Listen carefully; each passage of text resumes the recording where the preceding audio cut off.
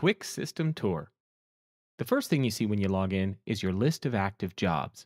Next to each job are links to the three most important tools you will use while shooting the dashboard for double clicking the participant you are about to shoot, the sign up form for adding participants to your job, and the auto upload utility for uploading images.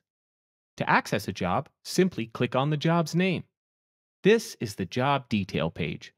You can think of it like the command center of your job. The best part about the job detail page is that no matter what feature you're looking for, there are only two places to look. For any features related to the job as a whole, these three dots show you the Job Actions menu.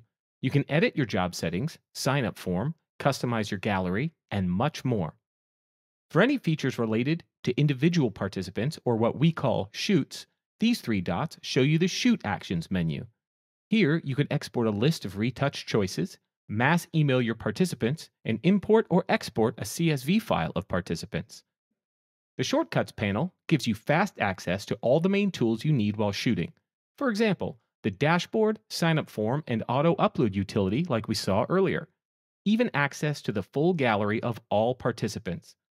Here you'll also find the job's automatically generated QR code.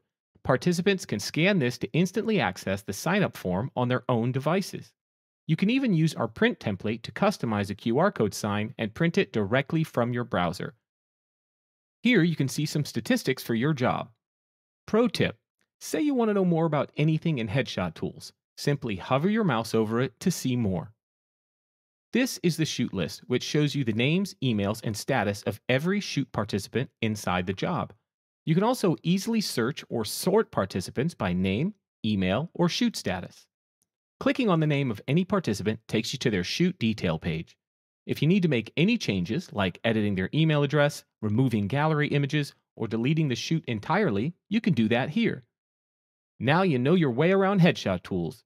Remember that you can find a detailed explanation of all the individual features and tools in the Help section here, or by clicking the question mark on that specific feature. If you have any questions after reviewing the Help section, feel free to email support at headshottools.com.